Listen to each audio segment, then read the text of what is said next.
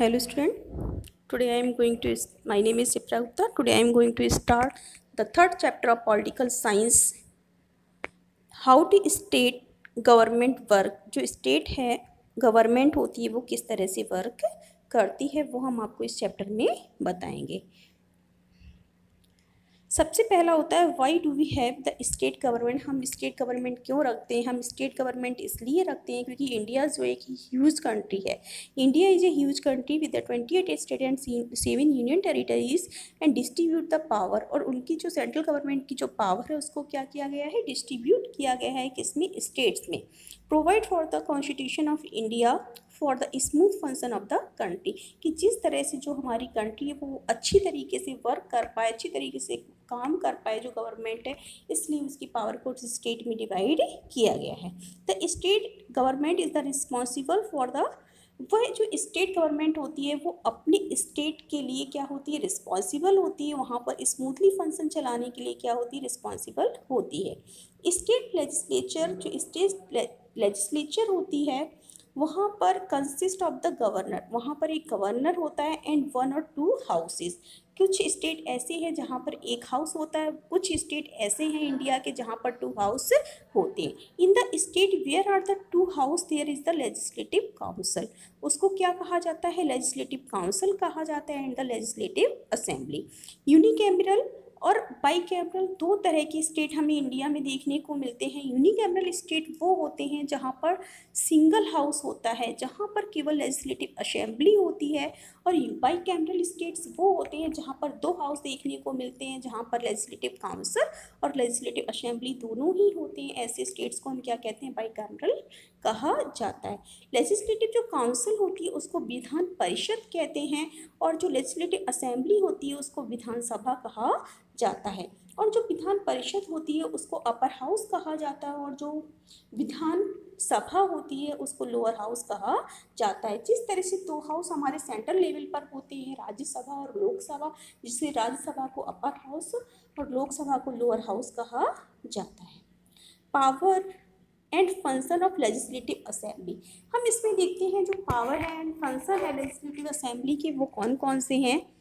It act the highest law making organ of the state जो state होते हैं वो क्या बनाते हैं सबसे? हाइएस्ट जो क्या होते हैं? ऑर्गन होते हैं क्या बनाने के लिए? कानून बनाने के लिए.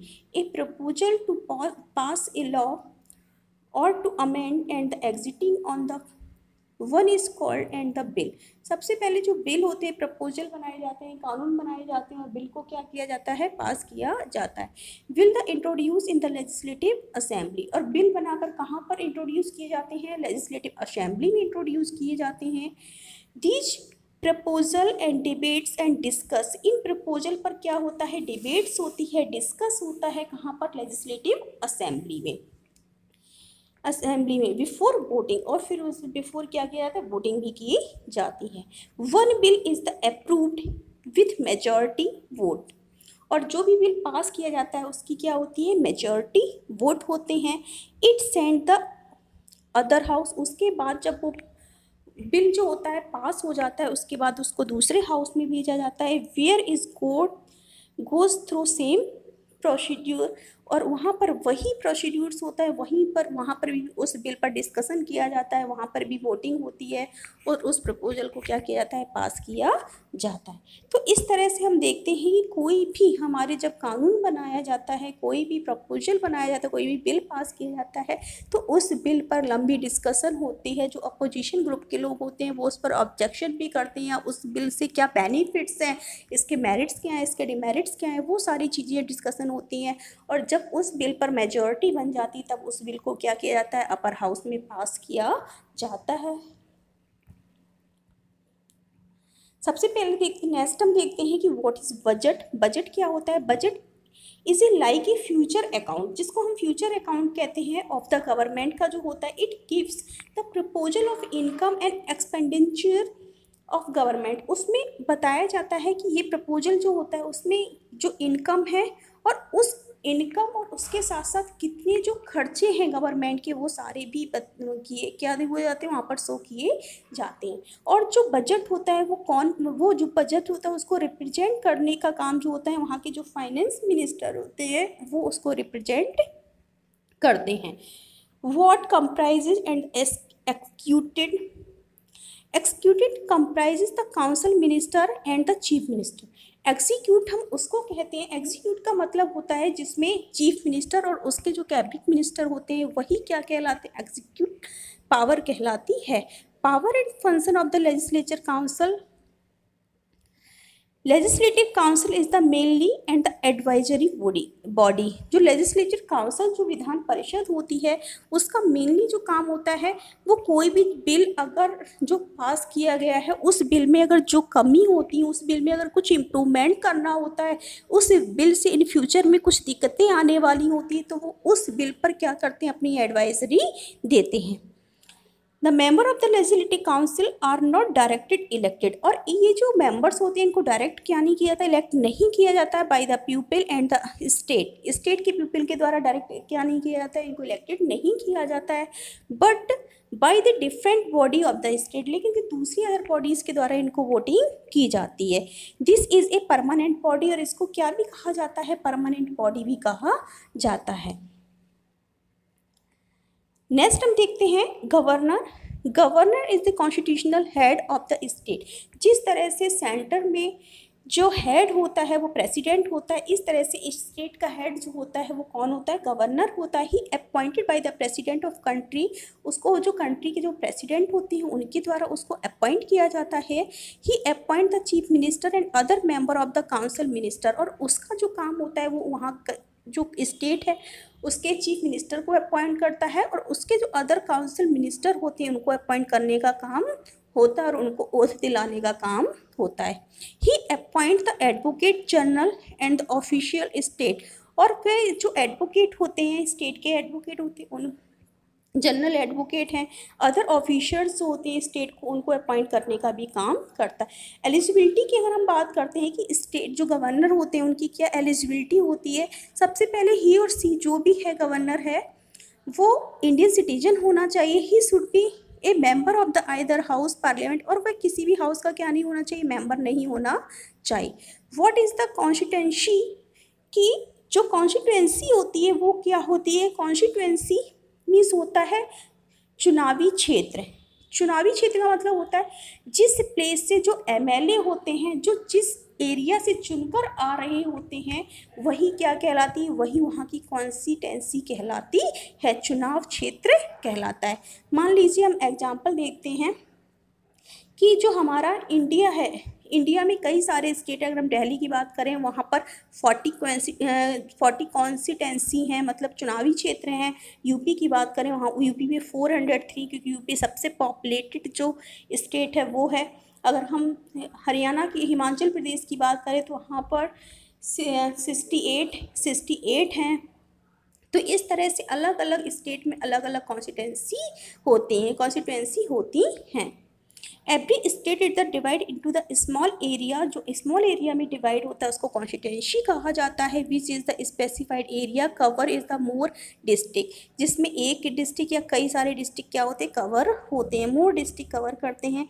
Each such as the constituency has and the elected and represented और जो इलेक्टेड रिप्रेजेंटेटिव होते हैं, वो वहाँ से क्या होते हैं? उन, वो वहाँ से उनको इलेक्टेड किया जाता है, उनको चूज़ किया जाता है। एक कॉन्स्टिटेंसी में कई सारी पार्टीज़ के अलग अलग जो जो एम होते हैं, जो वो खड़े होते हैं और उनमें से कोई एक मेंबर जो होता है, वो चूज़ होकर कहाँ पर पहुँचता है? विधानसभा, जो लेजिस्लेटिव असेंबली होती है, वहाँ पर पहुँचता है।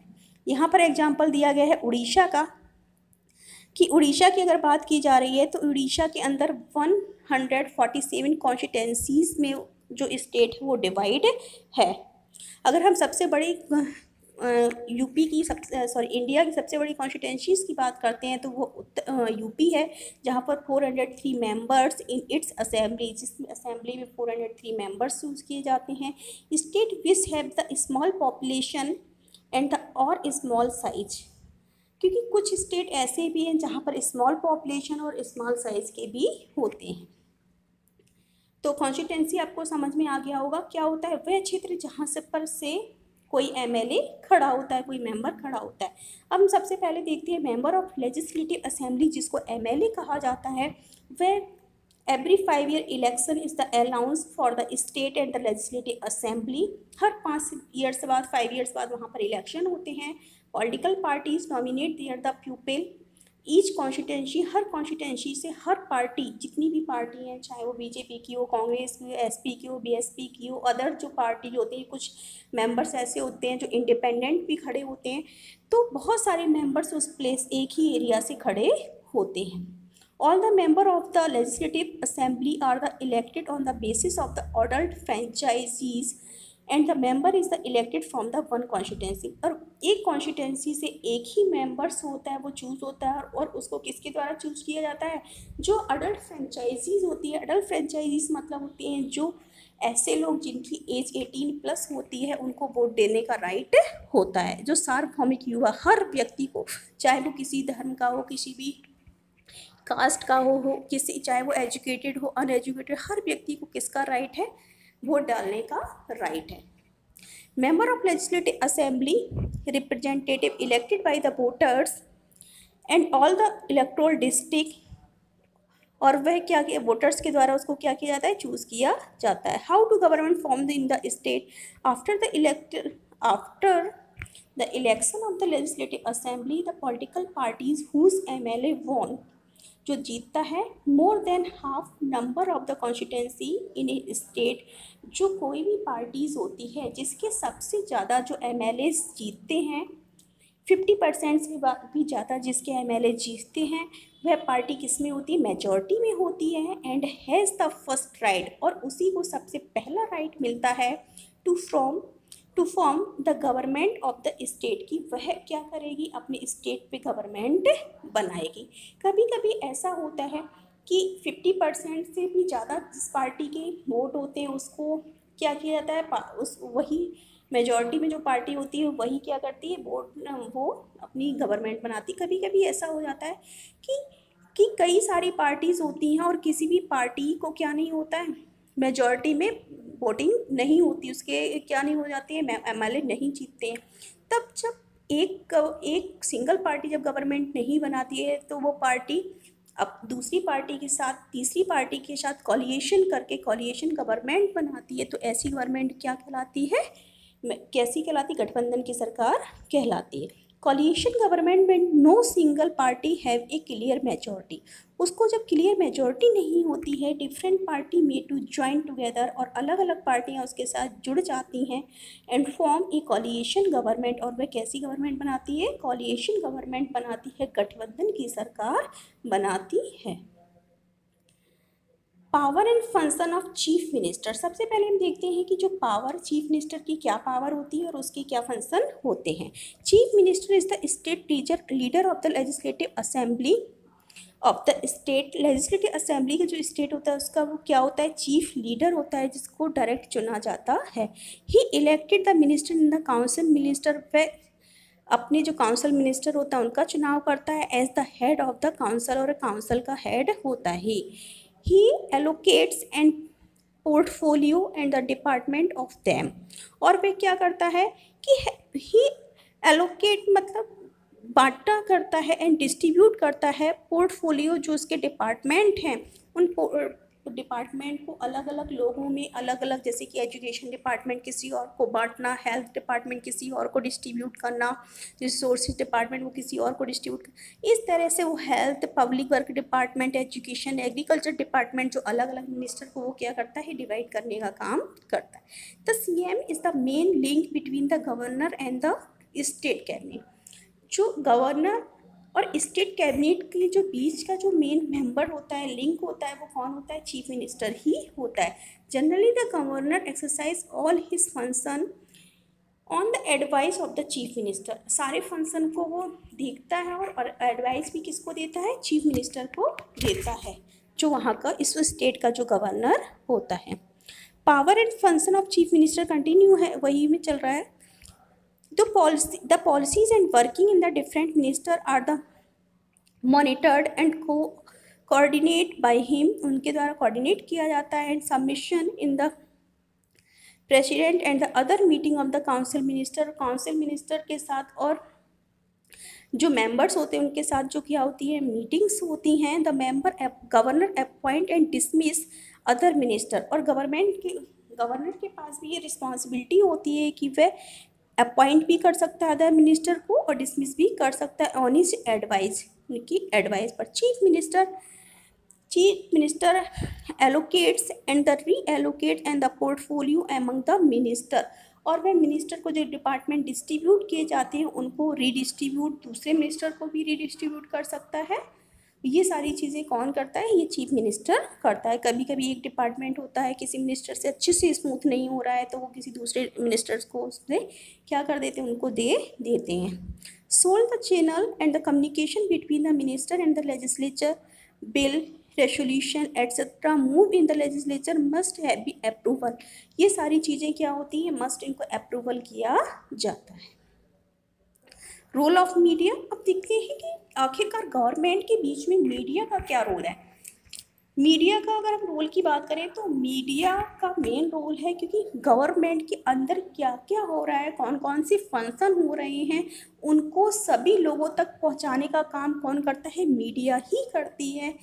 सभी लोगों को आम जो सिटीजन्स हैं, उनको क्या पता चलता है कि मीड कि कंट्री में जो गवर्नमेंट है वो क्या कर रही है, किसको अपॉइंट किया गया है, कौन नए कैबिनेट मिनिस्टर बने हैं तो वो सारी लोगों तक जो रिपोर्ट करने का काम होता है वो कौन करती है? वो मीडिया ही करती है। Media work a link between the government and the electorate and electorate which it the conveys and the message about the work of the government जो वर्क के मैसेज होते हैं उनको क्या करती है? पहुँचाने का काम करती है। मीडिया इंक्लूड्स न्यूज़पेपर मीडिया किस किस रूप में इंक्लूड्स होती है? न्यूज़पेपर के through television broadcast radio broadcast etcetera इन सभी के थ्रू क्या कहती है? वो सारी न्यूज़ पहुंचाती है। Since media has the far and the wide reach अगर आज की हम मीडिया की बात करें तो वो फॉर बहुत तेज़ी से, बहुत दूर और बहुत जल्दी पहुँच जाती वाइड रीच तक है। It acts and the medium of the portrait the various policies and performance of government to the people government की कौन कौन सी क्या परफॉर्मेंस हैं और उनको पोर्ट्रेट करने का जो काम है, वो कौन कर रही मीडिया कर रही, कहाँ लोगों तक पहुँचाने का काम?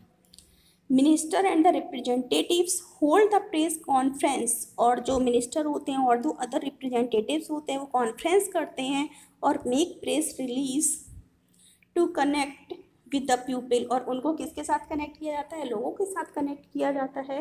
दे रिप्रेजेंट जो रिप्रेजेंट होते हैं। Information of the news policies made by the government and the circulate through the various media channel and reach people wide and far और बहुत सारे चैनल्स के द्वारा बहुत तेज़ी से और बहुत विस्तृत रूप में लोगों तक वो न्यूज़ें पहुंचाई जाती हैं। प्रेस की अगर हम बात करते हैं हाँ तो हमारे कॉन्स्टिट्यूशन में प्रेस को फ्री पावर प्रोवाइड की गई है। प्रेस जो है वो फोर पिलर के पार्ट में आता है, जो फ्री है, जो किसी भी किसी भी गवर्नमेंट के अंडर में नहीं है, जो किसी भी गवर्नमेंट से किसी भी तरह के क्वेश्चन कर सकता है।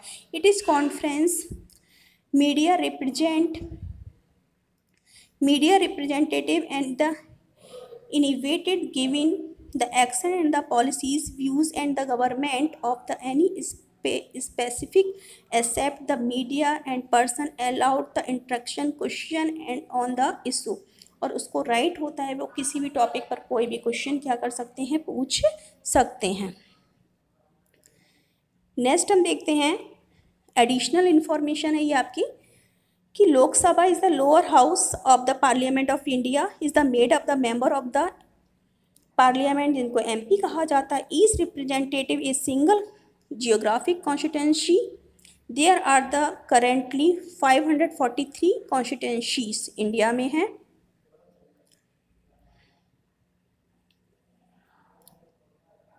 तो हमारा आज ये वाला जो टॉपिक है स्टेट गवर्नमेंट का क्या वर्क है, वो किस तरह से काम करती है तो ये वाला भी आज जो हमारा जो चैप्टर होता है, वो फिनिश होता है। Thank you